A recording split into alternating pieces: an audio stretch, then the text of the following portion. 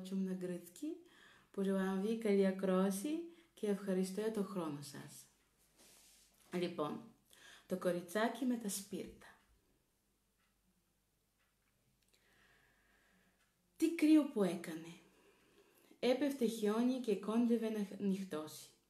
Ήταν η τελευταία βραδιά του χρόνου, η παραμονή της πρωτοχρονιάς. Μέσα σε εκείνο το κρύο και σε εκείνο το σκοτάδι, ένα φτωχό κοριτσάκι περπατούσε στον δρόμο, χωρίς να φοράει τίποτα στο κεφάλι του, ούτε στα πόδια του. Η αλήθεια είναι πως όταν βγήκε από το σπίτι της, φορούσε παντόφλες, αλλά δεν τις κράτησαν πολύ. Ήταν κάτι μεγάλες παντόφλες που τις είχε λιώσει η μητέρα της, τόσο μεγάλες, ώστε η μικρή της, ε, της έχασε καθώς έτρεξε να περάσει τον δρόμο ανάμεσα σε δύο αμάξια που λίγο έλειψε να την χτυπήσουν. Τη μία την έχασε, την άλλη την βρήκε ένα παιδί και την πήρε μαζί του για να τη δώσει στην αδερφούλα του να την κάνει κούνια για την κούκλα της.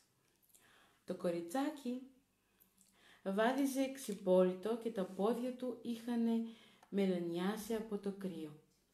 Μέσα στην τσέπη της είχε ένα σωρό κουτιά σπίρτα. Στο χέρι της κρατούσε και άλλα κουτιά γεμάτα γιατί αυτή τη δουλειά έκανε. Πουλούσε κουτιά με σπίρτα στους δρόμους. Όμως εκείνη την ημέρα δεν είχε πουλήσει ούτε ένα κουτί γιατί οι άνθρωποι έτρεχαν να προφυλαχτούν από το κρύο και από το χιόνι και κανείς δεν στεκόταν για να αγοράσει σπίρτα. Δεν είχε πουλήσει ούτε ένα κουτί και δεν είχε ούτε μία δεκάρα στην τσέπη της. Το κοριτσάκι πεινούσε και κρύωνε και ήταν αδύνατο και έτρεμε ολόκληρο. Η καημένη η μικρούλα. Οι νυφάδες του, του χιονιού έπεφταν στα ξανθιά της μαλλιά που σχημάτιζαν μπούκλες γύρω από τον λαιμό της. Τα, τα τζάμια των παραθύρων έλαμπαν από τα φώτα και έφτανε ως τον δρόμο η μυρωδιά από τα πουλερικά που έψιναν στις κουζίνες. Ήταν παραμονή της πρωτοχρονιάς και η μικρούλα καθόταν σε μια γωνιά ανάμεσα σε δύο σπίτια. Το κοριτσάκι πάγωνε όλο και πιο πολύ, αλλά δεν τολμούσε να γυρίσει σπίτι της. Θα πήγαινε πίσω τα, τα κουτιά με τα σπίρτα και ούτε μία δεκάρα. Ο πατέρας της θα την μάλωνε και άλλωστε μήπως και μέσα στο σπίτι της δεν έκανε τόσο κρύο. Έμειναν ψηλά σε μία σοφίτα και ο άνεμος φυσούσε ανάμεσα από τις τρύπες της σκεπής, μόνο που τις πιο μεγάλες τις είχαν βουλώσει με άχυρο και με κουρέλια. Τα καημένα τα χεράκια της δεν τα ένιωθε πια από το πολύ κρύο. Ένα σπίρτο θα, θα τα ζέστενε λιγάκι. Αν τολμούσε να βγάλει ένα, μονάχα ένα, από το κουτί και να το ανάψει, να ζεστάνει τα δάχτυλά της. Τράβηξε ένα, κρυψ. Πώς έλαμψε, πώς άναψε.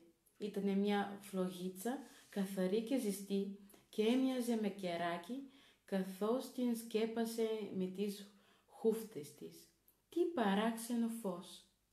Έμοιαζε τώρα με ένα κοριτσάκι καθισμένο μπροστά σε μια σιδερ, σιδερ, σιδερένια σώπα που το, που το σκέπασμά της ήταν γυαλιτιστερό.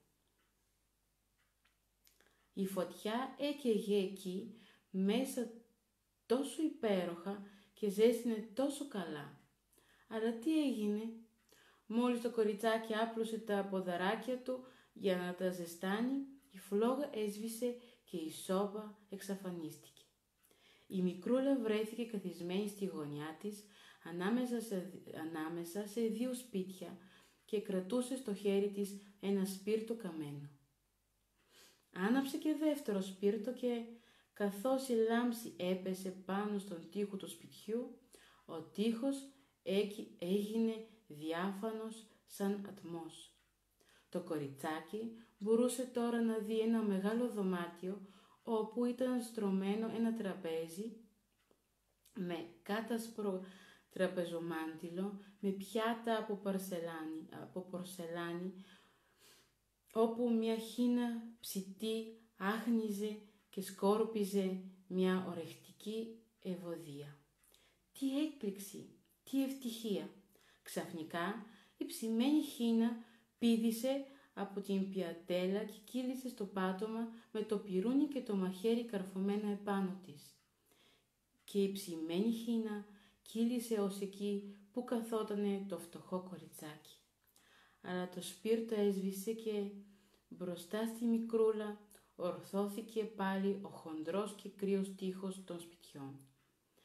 Άναψε αμέσως και το τρίτο σπίρτο και τότε το φτωχό κοριτσάκι είδε πως καθόταν κάτω από ένα υπέροχο χριστουγεννιάτικο δέντρο.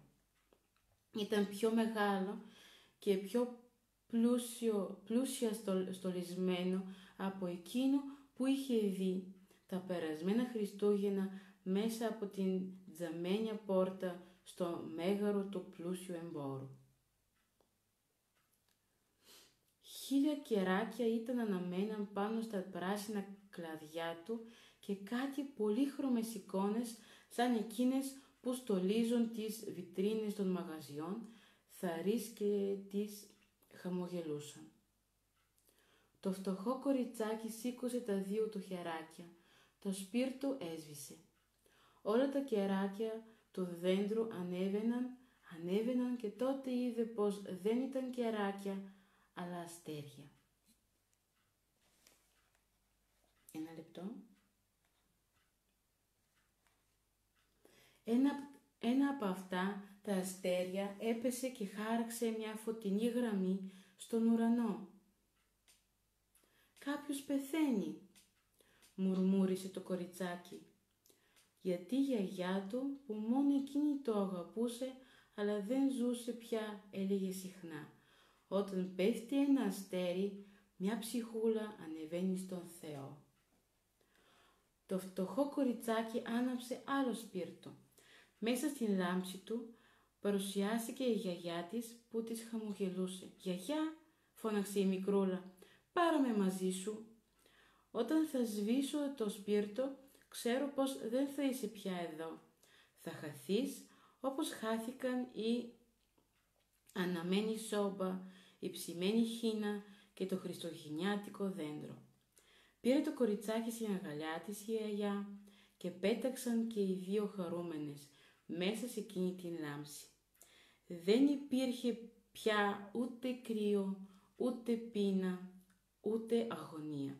Ήταν κοντά στον Θεό, αλλά σε εκείνη τη γωνιά ανάμεσα στα δύο σπίτια ήταν καθισμένο ένα κοριτσάκι με μάγουλα κατακόκκινα με ένα χαμόγελο στα χείλη. Ένα κοριτσάκι παγωμένο από το κρύο το τελευταίο βράδυ της χρονιάς. Η πρωτοχρονιά ξημέρωσε πάνω σε εκείνο το παγωμένο κοριτσάκι που ήταν καθισμένο εκεί με όλα του τα σπίρτα καμένα. Ήθελε να ζεσταθεί, είπε κάποιος. Όλος ο κόσμος όμως αγνοούσε τα όμορφα πράγματα που είχε δει, αγνοούσε μέσα σε τι μεγαλείο είχε μπει μαζί με την γιαγιά του στον καινούριο χρόνο. Πολύ ωραίο παραμύθι. Ολυμπίτσι благодаря ви за времето. Благодаря, че ни слушате всеки път. Надяваме се това, което правим ви харесва. Пожелаваме ви спокойни празници. Весело посрещане на новата година. Не забравяйте, че в неделя от 18 часа ще бъда на линия, за да продължим историята на господин Фок и неговото околосветско пътешествие. Бъдете здрави, бъдете заобиколени с хората, които обичате и които ви обичат. И не забравяйте, че всичко, което правим, го правиме с любов за вас. Хубав ден и до скоро!